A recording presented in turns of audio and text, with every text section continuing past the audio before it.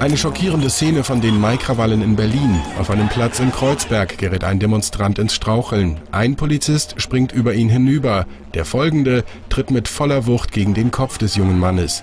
Das Amateurvideo kursiert jetzt bei YouTube.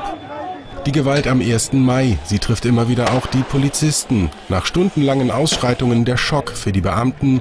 Ein Kollege ist schwer verletzt worden, nach bisherigen Erkenntnissen durch massive, stumpfe Gewaltanwendung auf seinen Rücken.